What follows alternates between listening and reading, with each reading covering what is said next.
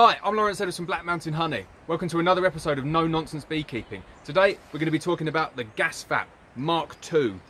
So if you saw the first video, you saw that there are a number of issues that I didn't like with the GasVap. I spoke to the manufacturers, I fed back this information, and amazingly they've sent me a brand new Mark II version of the GasVap along with the updated propane burner for me to review and take a look at. And I have to say, they have solved all of my issues with this second iteration model. Um, so purpose of this video is we're going to go back, have a look at the things that I didn't like in the first video, compare them to what I found they've resolved with the new Mark II model, um, and then give my recommendations for the product going forward. So the first version of the GasVap, the reason I didn't like it wasn't necessarily to do with this end. This was a really good design. It was the propane burner was incredibly unreliable I found. Um, now, if you've got one or two hives, as I said in the previous video, the propane burner would have probably worked well. But for, for bee farmers and people who have got kind of 10, 15, 100, 1,000 hives, when you're going along doing treatment after treatment after treatment, the burners, uh, propane burners failed, and it's generally the, the ignition that failed. I just think it was too hot and um, the ignition failed and you just couldn't get it back going again. So I reverted to my Sublimox because I found that a lot more reliable. Um, the other issue I had was that it was getting a little bit hot around here, but like I said, if they resolved the issue with the propane burner, that was a bit of a minor issue and, and just a small gripe, and it's kind of almost like icing on the cake for me. Something I didn't like the burner, and then there was a little other issue as well that was a bit niggly. So I've got over that now. Um, another key feature that they've added actually in the second iteration of the actual GasVap is this here. So they've added a screw thumb turn there, which means that this feels a lot more solid now. It doesn't fall off, whereas before it was a push fit and it could fall off. You've actually got the ability to kind of screw that on now, which means that if you've got your own kind of high quality propane burner, it will fit a, a number of different models. Um, so the first thing I have to say is thanks so much to the team at GasVap for kind of A, giving me the opportunity to review the new model, but B, taking on constructive criticism from a, a, number of people, and I know they've had a lot of feedback about the quality of the existing uh, first generation torch. And, and the first thing they did is they went out and they sourced a, um, a much more reliable substitute. So thank you, thank you for taking on the constructive criticism. Um, a lot of manufacturers kind of say, well, that's the product, it's got its flaws, just kind of deal with it. But for some, uh, for a manufacturer to be so reactive to people's criticisms and feedback and to kind of go away look how they can put that right and then come out with an iteration that solves all of the problems of the previous generation. Kind of hats off to the team down at GasVap for doing that so quickly and getting the new model out. So, we've summarised kind of the issues that I didn't like with the first one. Got a little bit hot, but I could get over it. But mainly, it was a propane torch. It was unreliable, and I didn't like it. And the team at GasVap have completely resolved that with the new model. So, it's a RecRo burner now, and it gives you a really, really minute control over the temperature of the flame. And I think that's important because what you didn't want before, you didn't want it running at max heat because that caused issues with the reliability. So you tried to kind of put the temperature down to as low as it possibly could on the previous one and it went out. So in order to kind of get it working, you had to have it at a high temperature, which meant that it probably failed earlier than it should. Now this new model, and I'll just take the GasVap element off, this new model, it has a really kind of fine ability to control the flame.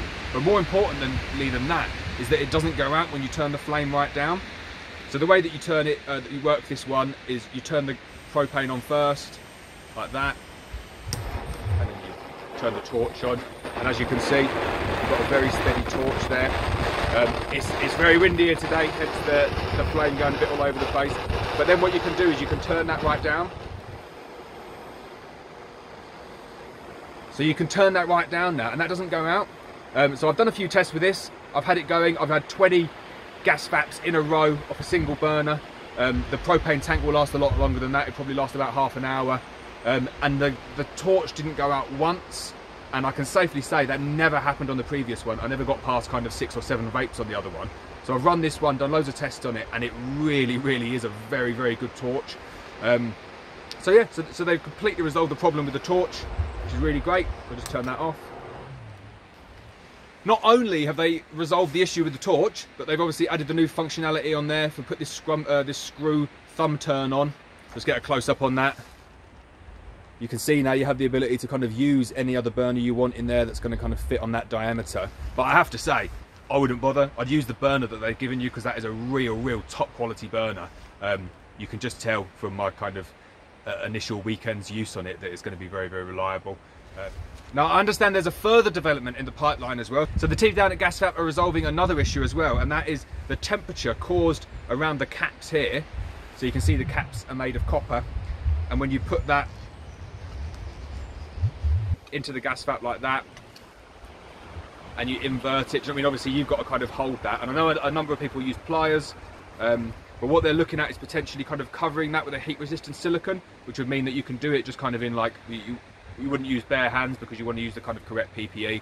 Um, but just do it with kind of normal either latex gloves or something that won't melt instead of having to use welder's gloves like this. So that's a, like a real um, nice innovation, something to look forward to in the future.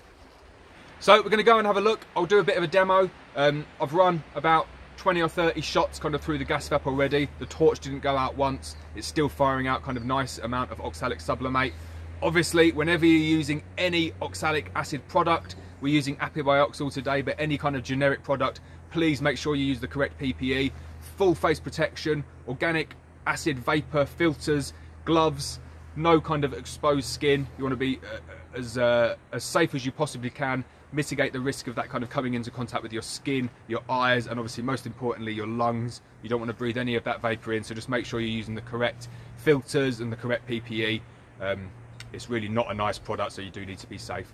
So we'll go away and we'll take a look at kind of the, uh, the gas vap and the new propane torch in action.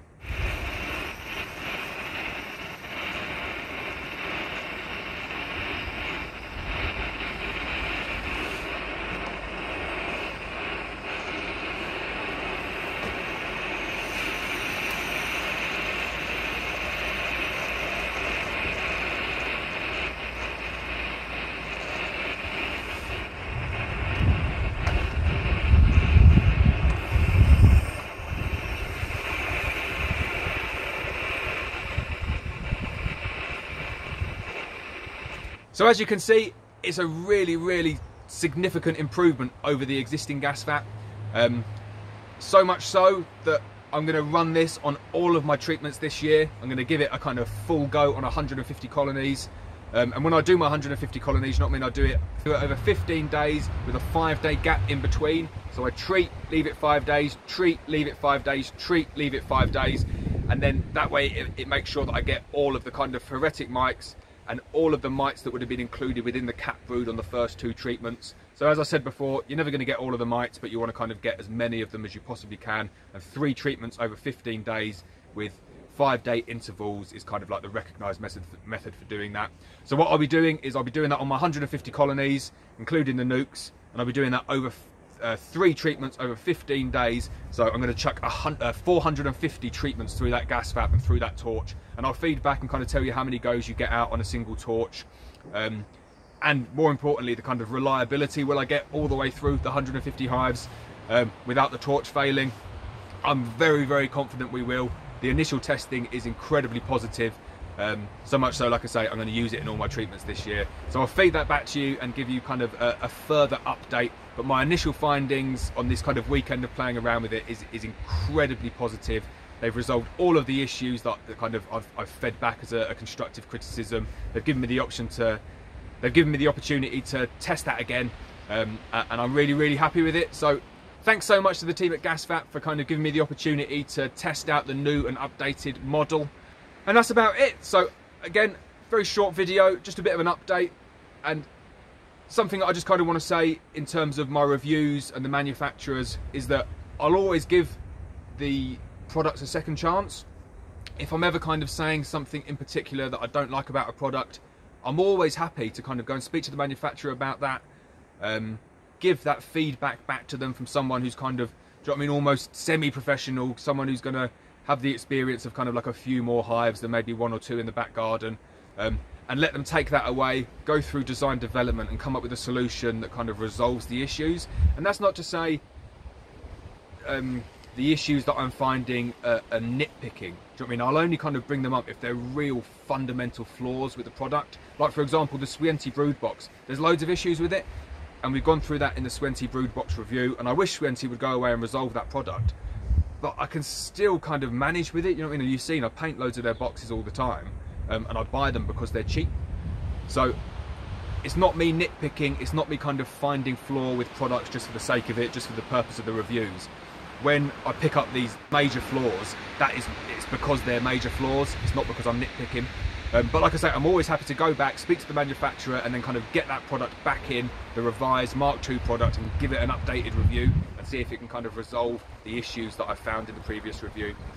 Um, so that's it. So thanks for watching the video again. Please make sure to hit the subscribe button, hit the bell so you get notified of every single video that we post onto YouTube. Closer and closer into the season now, the colony's really kind of getting a, li a little bit more active. I suspect that there's a bit of brood in some of them going forward now. Um, we just need to make sure that all these storms kind of get out of the way. We don't lose any more colonies, and then that's it. We're straight into the season. So thanks for watching, and I'll see you next time. Mm-hmm.